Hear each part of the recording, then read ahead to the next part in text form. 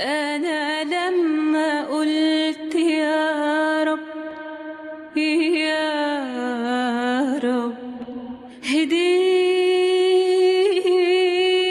وهدي بالي. أنا اتكلت عليك في كل أحوالي. بسم الله الرحمن الرحيم برحب بحضراتكم والدنيا بخير. مهما كانت الأزمة والصعوبات هيجي يوم وهتتفتح كل الأبواب. أصل ربنا شايف سعيك وعملك وعشان دعائك هيرزقك بالأسباب. بس انت ارفع إيديك للسماء وادعي ربنا صوتك وطلبك يوصل من غير حجاب. هتلاقيه زي ما وعدك وفى. بس انت ادعي ولح في الدعاء ربنا هيستجاب. الدعاء وأسراره وشروط استجابته ده اللي هنقوله النهارده إن شاء الله مع فضيلة الشيخ الدكتور رمضان عبد الرازق عضو اللجنة العليا للدعوة بالأزهر الشريف. وإن شاء الله في انتظار تليفونات حضراتكم وأسئلتكم. فضيلة الشيخ سلام عليكم وأهلا بحضرتك. وعليكم السلام ورحمة الله وبركاته. أهلا بسعادتك وأهلا بجميع العاملين في هذه القناة الجميلة وبجميع المشاهدين والمشاهدات. الدعاء عبادة من العبادات. وربنا سبحانه وتعالى قال فإني قريب. نعم. يعني بسم الله والحمد لله وأشهد أن لا إله إلا الله وأشهد أن سيدنا محمد رسول الله. اللهم صل وسلم. وبارك على سيدنا محمد وعلى آله وصحبه ومن والاه وبعد. من مقاصد الصيام ومن مقاصد شهر رمضان أن يعلمنا أنه ندعي ربنا في كل وقت. ويعلمنا أن ربنا بيستجيب لنا الدعاء في كل وقت. لفت نظري أن آية الدعاء جاءت وسط آيات الصيام. الآية الأولى يا أيها الذين آمنوا كتب عليكم الصيام. الآية اللي بعدها أيام معدودات. الآية اللي بعدها شهر رمضان الذي أنزل فيه القرآن. الآية اللي بعدها وإذا سألك عبادي عني فإني. قريب. الآية اللي بعدها أحل لكم ليلة الصيام الرفث إلى نسائكم.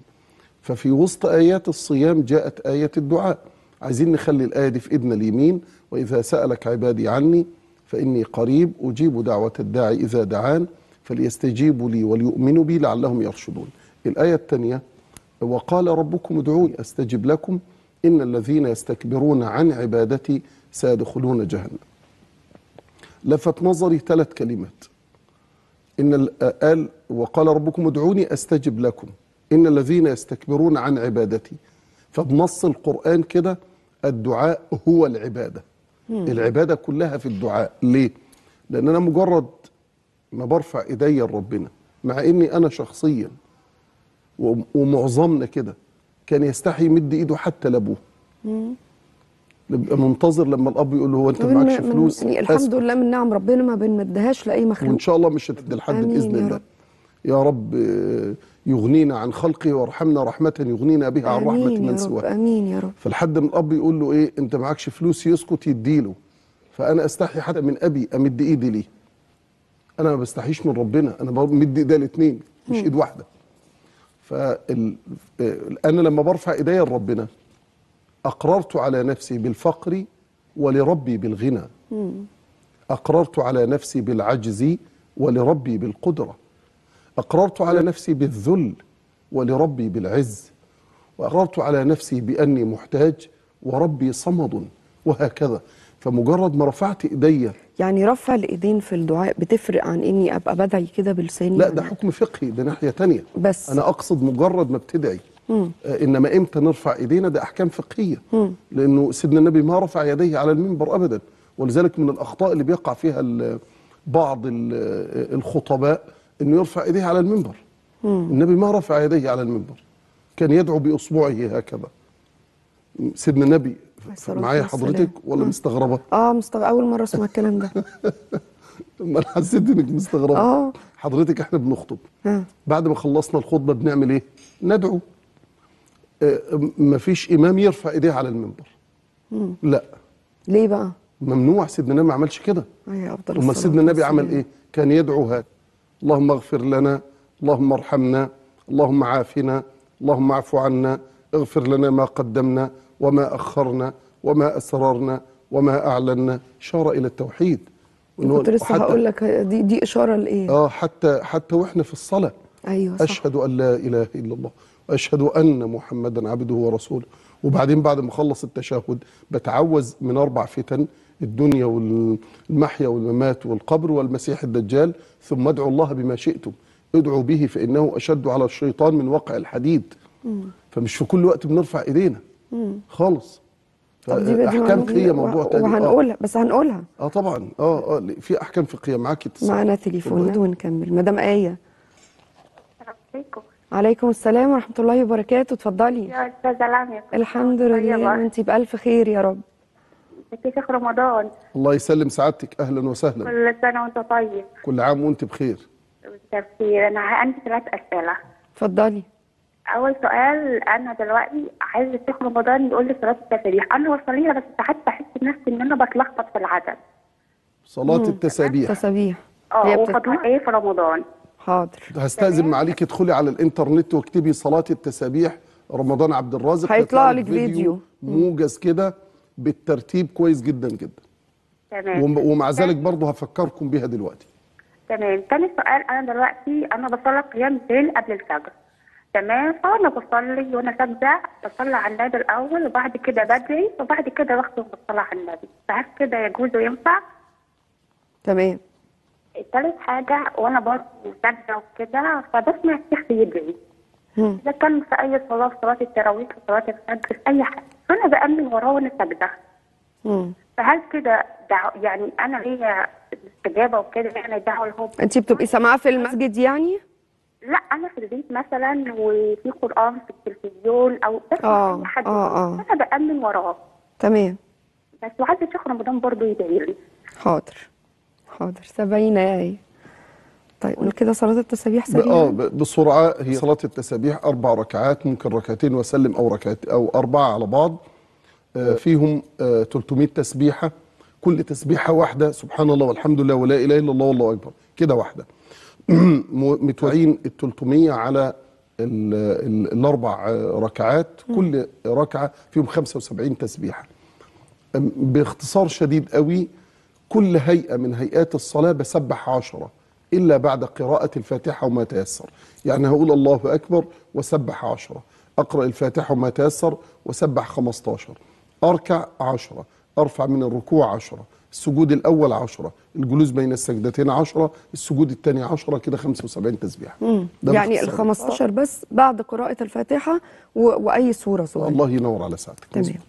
طيب. قيام الليل هي ب- هي وهي ب- ب- ب- ساجده وبتدعي قبل الدعاء بتصلي على الرسول عليه أفضل الصلاة والسلام بعد الدعاء بتختم بالصلاة على الرسول عليه هو ده كان سؤال من ضمن أسئلة الحلقة. إن أنا كيف أدعو ربي؟ اللي هي بتقوله صح. بس هنضيف بس إيه؟ إن أنا لما أجي أدعي ربنا يا جماعة سيدنا النبي صلى الله عليه وسلم قاعد فواحد من الصحابة اللهم اغفر لي اللهم ارحمني. فسيدنا النبي قال عجل هذا. أنت مستعجل ليه؟ فجاء أي التأني في الدعاء. لا قال لي قال لي سيدنا النبي علمني. آه. لا مش مسألة تأني بقى يا لمياء هانم. إنما مسألة آم، ترتيب. الترتيب إيه هو؟ يا جماعة اتعلموا إزاي ندعي ربنا. واللي علمتنا كده سورة الفاتحة. نبدأ بالثناء على الله ثم الصلاة على سيدنا رسول الله ثم أرب ما أشاء ثم أصلي على سيدنا النبي ثم أوجب والإيجاب هو قول آمين. يبقى إزاي؟ بقول كده اللهم يا كريم يا حليم يا عظيم يا رب العالمين يا واحد يا أحد يا صمد يا من لم يلد ولم يولد ولم يكن له كفوا أحد يا حنان يا حنان يا منان يا بديع السماوات والأرض أثني على ربي. اللهم صل وسلم وبارك على سيدنا محمد في الأولين وفي الآخرين وفي كل وقت وحين وفي الملأ الأعلى إلى يوم الدين. يا رب اغفر لنا يا رب ارحمنا يا رب بارك فينا يا رب كذا. أطلب من الله. ثم أصلي على سيدنا رسول الله. ثم. أقول اللهم آمين. تمام. طيب آه، هي وهي بتصلي بتأمن. لو لو سمعت الإمام في التلفزيون. أثناء الصلاة لا. ما ينفعش. آه لكن لو هي في المطبخ. وفيه برنامج ديني وشيخ بيدعي على ال... في التلفزيون. تقدر تقول آمين. تقول. آمين لكن في داخل الصلاة لا. تمام. نعم. مدام إلهام. السلام عليكم. عليكم السلام ورحمة الله وبركاته. اتفضلي. ازي حضرتك؟ الحمد حضرتك؟ لله أهلا وسهلا بيكي. أيوة. عايزة أكلم ال- فضيلة الشيخ. اتفضلي مع حضرتك. أيوه أنا أهلا أنا وسهلا يا فندم. ازي حضرتك؟ الله كل يسلم سعادتك. حضرتك طيب. كل عام وحضرتك بخير. وحضرتك ط- أنا ما بصومش عندي الضغط والسكر والقلب. شفاك الله وعافاك.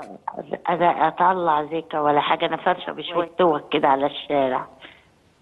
يعني لا باخد معاش ولا باخد حاجة. أعمل إيه يعني؟ أسد إزاي أو أسد ديوني إزاي؟ ما, ما عندكيش ما, ما يقضي إنك أنت تطعمي كل يوم مسكين؟ ما, ما معيش. لا ما معيش ألف والله. سلامة. أنا ربنا ببيع يكرمك. شوية توك كده على الشارع أنا من اسكندرية من العجم وماليش معاش وماليش حاجة. ربنا يرزقك يا رب. ربنا يبارك لك يا طب حبيبي سؤال حضرتك إيه يا أم؟ تعمل أنا إيه؟ أعمل إيه عشان أنا ما بصومش ما بقدرش أصوم. ولا تعملي حاجة تذكري ربنا وبس وقطع عنك. ونعم بالله. قال الله عز وجل لا يكلف الله نفسا إلا ما آتاها.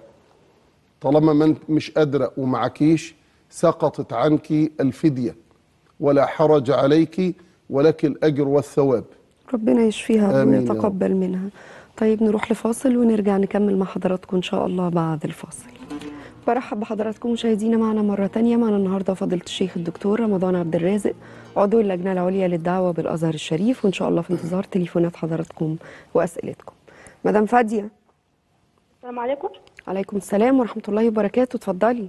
عامله ام كريم. الحمد لله بخير. كويسه صحتك الحمد لله. اتفضلي. نتكلم في عم رمضان لو سمحتي. اتفضلي. السلام عليكم عم رمضان. عليكم السلام أهلا وسهلا. كويسه صحتك الحمد لله ربنا يبارك في عمرك. أنا بحبك جدا جدا جدا. ربنا يكبر خاطرك. يا رب. عارف فضيلة الشيخ أنا من بلد مين؟ أيوه.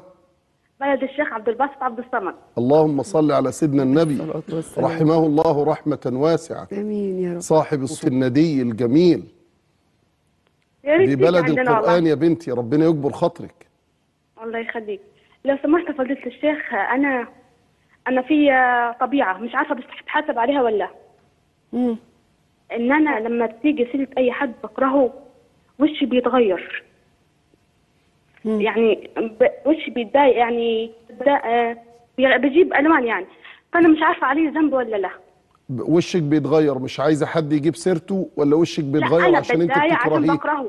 بكرهه مش بحب يعني بتضايق لما تيجي سيرته. طب بتتكلمي عليه بقى بعد ما وشك يتغير؟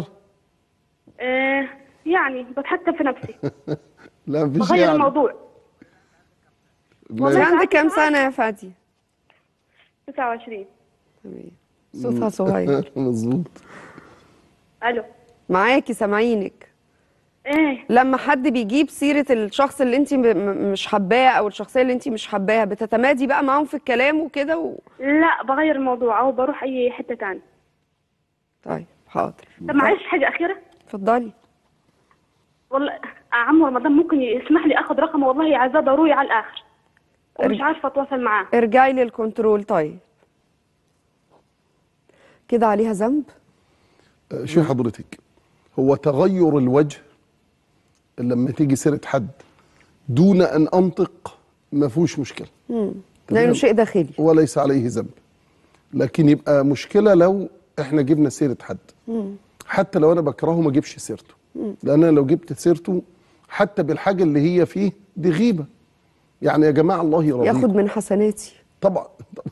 يعني متخيله حضرتك لو واحدة غارت من واحدة فقالت عليها دي قصيرة قال يعني أنا طويلة يعني الكلمة دي ترميها في النار 70 سنة. يا. لو قالت عليها هي رغاية وهي فعلا رغايه ده, ده لو قالت على الحاجة اللي فيها. مظبوط. يعني أيوه بالظبط. يعني. آه. حضرتك فلانة دي رغاية. تمام؟ وواحدة قالت عليها إنها رغاية وهي فعلا رغاية. ما هو دي الغيبة. ذكرك أخاك بما يكره في غيبته لما تجيب سيرة حد بالحاجة اللي ما يحبهاش وهو مش موجود. شوف ربنا سبحانه وتعالى يسهل لنا وييسر لنا أمور الخير والحاجات البسيطة قوي اللي ناخد بيها أجر وثواب عند ربنا سبحانه وتعالى. حاجات بسيطة جدا. وبرضه حاجات بسيطة جدا جدا جدا ممكن زي ما حضرتك قلت والعياذ ليه بالله. ما عليكي؟ العلاقة اللي بيني وبين ربنا مبنية على المسامحة. إنما العلاقة اللي, مب... اللي بيني وبين الخلق مبنية على المشاحة. يعني اللي بيني وبين ربي هو كريم وأكرم. صحيح. فهيعدي لي. إنما بيني وبين الناس إلزم حدك. ما تجيبش سيرة حد.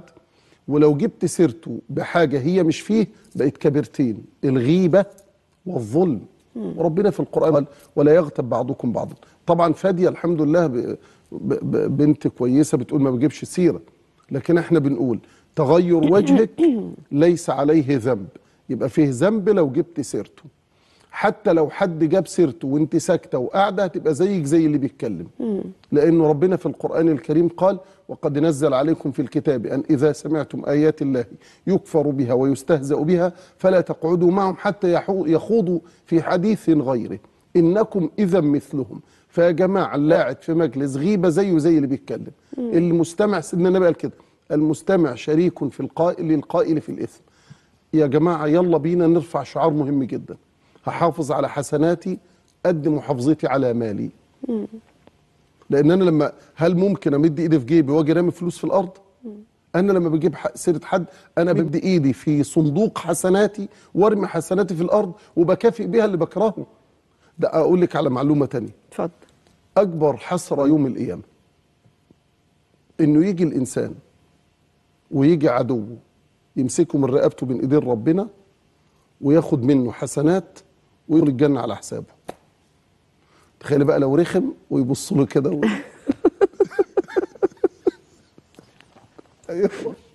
بالبلدي كده. هيبقى غلب دنيا وأخرة. يعني هو مضايقك في الدنيا. وكمان هيجي في الآخر يعمل فيك كده. يبقى أنا عليه بقى. أنا ناصح. أنا اجيبش سيرة حد ابدا. لأن حسناتي غالية عليا. صح جاهد نفسك. ف- فاهمه الفكرة؟ يعني هي اللي هي قالته ده أسلم حل بعد الكلام اللي. رد حضرتك إن هي تقوم وتسيب القعدة. بالظبط. يا إما تقول ما تجيبوش سيرة حد. آه. أنا أنا حسناتي غالية عليا أغلى من فلوسي وأغلى من مالي لأنها يوم القيامة ما فيهاش ما فيهاش تراضية. يا ياخد من حسناتي ياخد من سيئاته. طب وعلى إيه؟ هيبقى بالبلد كده غلب دنيا وآخرة تكره حد ما تجيبش سيرته ابدا. ابدا. حابب تجيب سيرة حد؟ هات سيرة أبوك وأمك. هم أولى الناس بحسناتك. يعني إيه؟ يعني أنا بدل ما أجيب سيرة عدوي واجامله وأدي له حسناتي أجيب سيرة أبويا وأمي وأدي لهم الحسنات. ده معاذ بن سيدنا يحيى بن معاذ اللي قال كده. قال لو كنت مغتابا لاغتابن والدي. قالوا له ولما؟ قال هم أولى الناس بحسناتي. طيب ناخد مدام رانيا. مدام رانيا اتفضلي. السلام عليكم. عليكم السلام ورحمة الله وبركاته. آه، ازيك يا بس أنا عندي استفسار كده مع أنا لاميه بس مش دعاء. سوري أنا آسفة. ولا يهمك. آه، عندي استفسار للشيخ رمضان. ممكن؟ اتفضلي. آه، هو أنا كنت عايزة أعرف يعني آه، لما يكون حد وعدك بحاجة و... وخلي بيك ما كملش الوعد دوت وأنت ما عملتش الذنب يعني هو لمجرد شك إن هو يخلي بيك بعد ما كان موعدك بجواز وكل حاجة. ده يبقى إيه عند ربنا يعني؟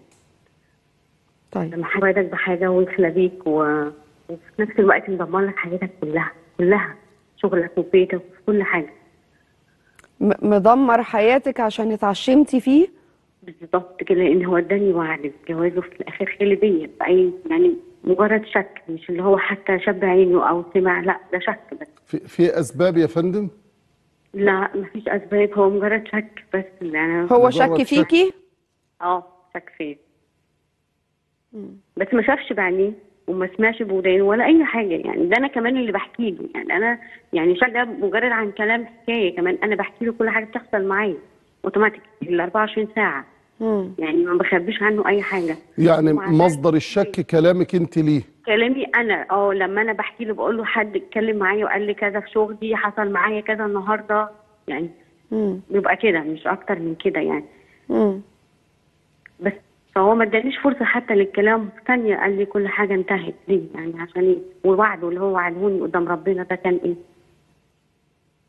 طيب حاضر حاضر. تبين يا رانيا هي فتحت موضوع مهم جدا. إيه اللي نقوله وإيه اللي ما نقولوش؟ وإيه اللي نحكيه وإيه اللي ما يتحكيش أحسنتي. اولا هو فيه في حاجة اسمها فقه الحديث.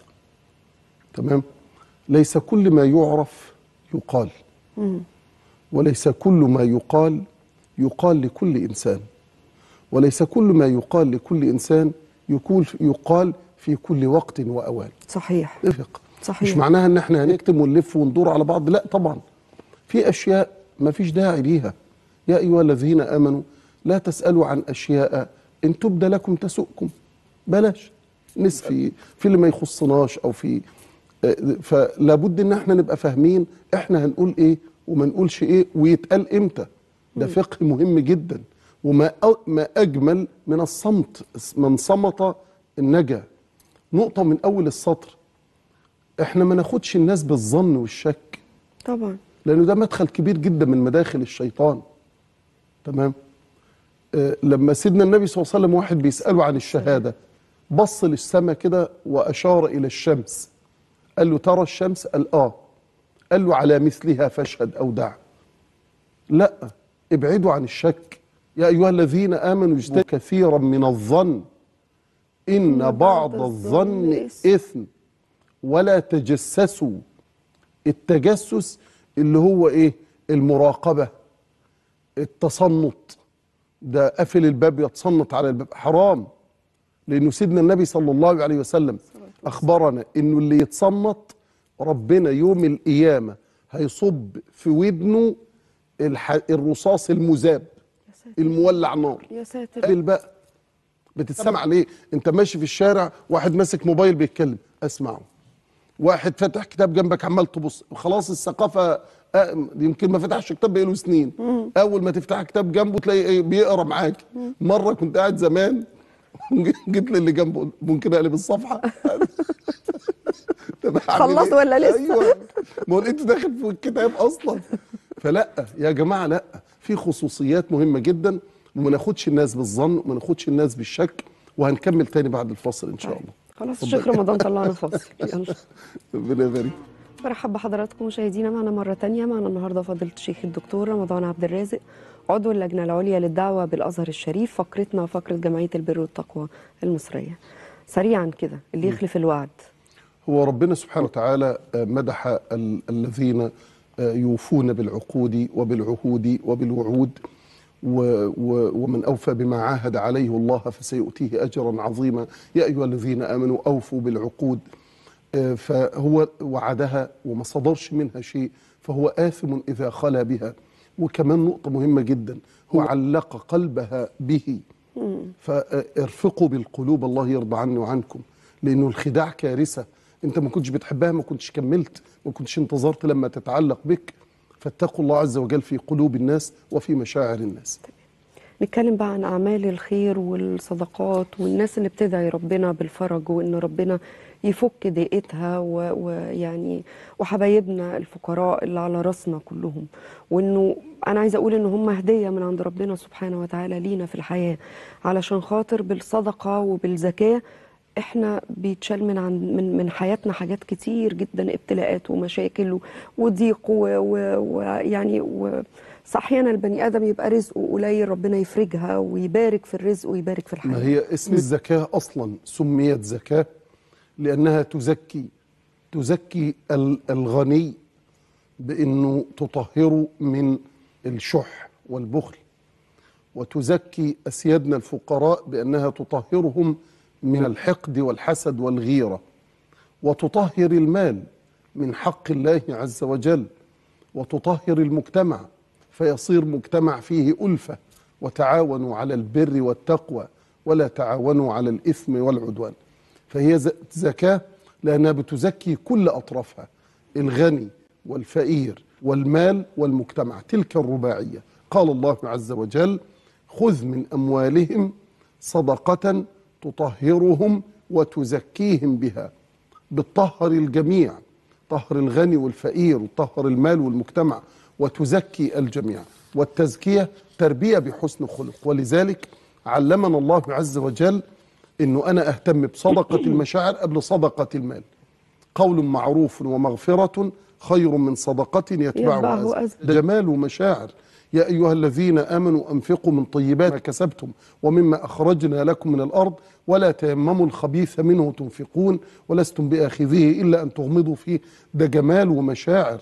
يا أيها الذين آمنوا لا تبطلوا صدقاتكم بالمن والأذى كالذي ينفق ماله رئاء الناس ده جمال ومشاعر. ومثل الذين ينفقون أموالهم ابتغاء مرضات الله وتثبيتا من أنفسهم كمثل جنة بربوة أصابها وابل فآتت أكلها ضعفين فإن لم يصبها وابل فطل ده جمال ومشاعر.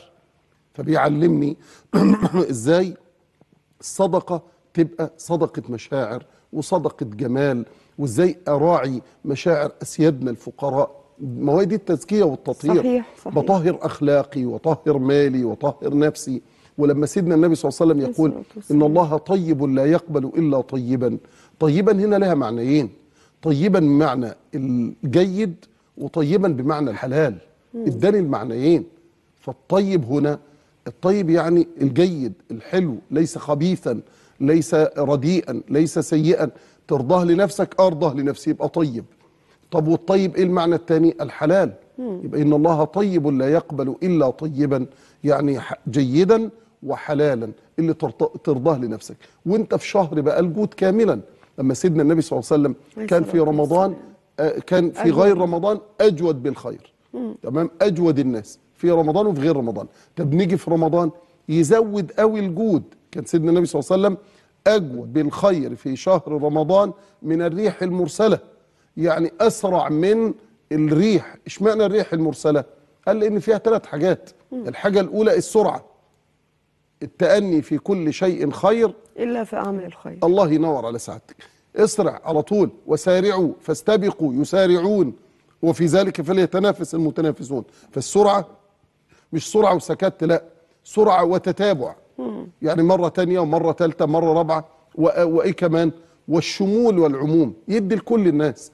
يعطي عطاء من لا يخشى الفقر. يدي للغني والفقير. كانوا يقولوا كده. آمنوا. فإن محمدا يعطي عطاء من لا يخشى الفقر. لأن ربنا قال له في الحديث القدسي الجليل أنفق أنفق عليك. أنفق ولا تخشى من ذي العرش إقلالا. فاللي هيدي ربنا هيديله واللي هينفق ربنا هينفق عليه واللي هيوسع الناس ربنا هيوسع طبعا. عليه. وسيدنا النبي صلى الله عليه وسلم. قال ل- ل- ل- لإحدى الصحابيات لا توكي فيوكي الله عليك. يعني إيه؟ عارفة الوكاء؟ الربا الرباط. عارفة لما بنربط حاجة؟ آه. فالربط هنا يعني إيه؟ اللي هو المنع. يعني لا تمنعي الصدقات والزكوات فيمنع الله عنك فضله. وإحنا في شهر الجود جود يجود عليك ربنا. وربنا بيجود علينا بيجود علينا بالمغفرة يجود علينا بالعتق من النار. يجود علينا بقفل أبواب النار يجود علينا بفتح أبواب الجنان يجود علينا بليلة القدر يجود علينا جود عظيم جدا توسعة الأرزاق وإطعام الطعام وجبر فأنت ربنا بيجود عليك فأنت جود على عباد الله يجود الله عز وجل عليك. ده نقطة مهمة جدا. طبعا. فإحنا في شهر الجود وما شاء الله تلاقي جمعية البر والتقوى ما شاء الله هي نشيطة طول العام. تيجي في في رمضان؟ تزود. ما شاء الله لا قوة إلا بالله. تلاقيهم في أما معظم الأماكن وتلاقي مخ الخير وس- وسحور الخير وكراتين الخير ووصلات المية ومن الحاجات المهمة اللي اكتشفتها حتى إفطار المسافر. مشروع هايل. الطرق. آه يروحوا ال... يقفوا على الطرق اللي مسافرين في وقت ال... الإفطار. يدوا للناس ويدوا لأسيادنا اللي سايقين العربيات النقل واللي سايق... واللي راكبين في ميكروباص واللي راكبين في أتوبيس. إفطار مسافر. ال- اللي يفطر صائم. الإفطار هنا مقصود بيه الأكل. ولا زي ما حضرتك بتقول كده لو واقفين على الطريق بنشوف شباب وبنشوف ناس واقفين على الطريق وجمعيه برضو البر والتقوى. معاهم مية معاهم عصير معاهم تمر. ال- اللي يفطر صائم الم- المقصود بيه إفطار أول حاجة تدخل المعدة. كله ولا- يا هانم كله يا فندم. كله عليه نفس الأجر كله له نفس الأجر. ولا الأكل يزيد وال- ولا المية تزيد سيدنا النبي صلى الله عليه وسلم قال إيه؟ والسلام. قال من فطر صائما كان مغفرة لذنوبه وعتقا لرقبته من النار وكان له مثل أجر الصائم دون أن ينقص من أجر الصائم شيء. يا رسول الله ليس كلنا يجد ما يفطر به الصائم. فسيدنا النبي صلى الله عليه وسلم قال يعطي الله هذا الثواب لمن فطر صائما على تمرة أو مزقة لبن أو شربة ماء. لمن لم يجد؟ طب من وجد؟ اداله تمرة ومشي خي- كان خدت فطاره. لا هو يحتاج إلى الأكل. إنما سيدنا النبي يقول لنا هذا الكلام على سبيل التحفيز للإعطاء مهما كان العطاء قليلا. مش كده وبس. آه، بيدي فرصة لمن لم يجد أيضا أن يتصدق. طب لمن وجد؟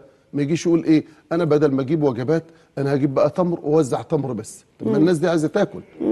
ما في بعض الناس ممكن يفكر كده أجيب تمر بس وأزاز مية صغيرة. طب ما الناس دي تريد إطعام الطعام ده صايمة طول النهار. فله الأجر والثواب كل من فعل ذلك. من أعطى تمرة له أجرها.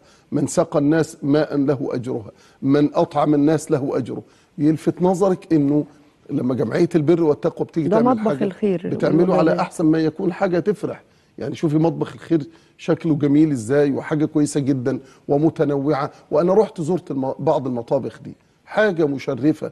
الناس اللي واقفة بالكمامات ولابسين ال... في إيديهم وحاجة في منتهى النظافة والأماكن دي حقيقة. م- نظيفة جدا وشيء مشرف وحاجة كويسة جدا مع التنوع. يعني نرتضيه بجد إنه يدخل بيوتنا. فده من أعظم ما يكون أعظم ما يقرب العبد إلى الله عز وجل إنه يطعم الطعام. قال الله عز وجل ويطعمون الطعام على حبه مسكينا ويتيما وأسيرا. إنما نطعمكم لوجه الله لا نريد منكم جزاء ولا شكورا. أنا نخاف من ربنا يوما عبوسا قمطريرا. فتلاقي حاجة مشرفة جدا. سيدنا النبي صلى الله عليه وسلم. البيان الأول أيها الناس أطعموا الطعام. لما كان حد يجي يسأل على سيدنا النبي صلى الله عليه وسلم في. بداية دعوته في عن الإسلام يقول له طب هو الرسول بماذا يأمركم؟ كانوا يقولوا كده بإطعام الطعام وصلة الأرحام وأن يوحد الله لا يشرك به شيئا. فصار إطعام الطعام مقصد من أعظم مقاصد الدين. صحيح. لأنه أنت متخيله حضرتك لقمة بطن جائع شكلها إزاي؟ حد جعان وأنت أطعمته. حد عطشان وانت سقيته ده, ده الست لما سقت الكلب شكر الله لها وغفر لها وأدخلها الجنة. فما بالك بمن يسقي إنسان؟ صحيح. ده لو حشرة شربت من ماء لك حشرة وأنت لا تعلمها لكن الله يعلمها. ما إحنا بنعامل ربنا سبحانه وتعالى. الله يبارك في عمرك. قال النبي صلى الله عليه وسلم في. كل كبد رطبة أجر. كل كبد بيشرب من مائك له أجر. فمن أعظم ال- العبادات من أعظم ما يقربنا من الله عز وجل إطعام الطعام. طيب نروح نشوف تقرير خاص بجمعية البر والتقوى ونرجع لحضراتكم مرة تانية. أجر وثواب اللي يشارك في أي شيء يخص المياه. هو من الحاجات الجميلة قوي اللي برضو أنا بتابعها في جمعية البر والتقوى حاجة جميلة جدا اسمها الآبار النموذجية. الب- البئر النموذجي اللي هو بتطلع المية من تحت الأرض ثم يتم معالجتها. زي صالحة الفلاتر لل- للشرب بالظبط عشان تبقى في منتهى النقاء عشان آه، تبقى صافية متفلترة تماما. فده البئر النموذجي. بئر نقي نظيف مياه تبقى صالحة تماما للشرب.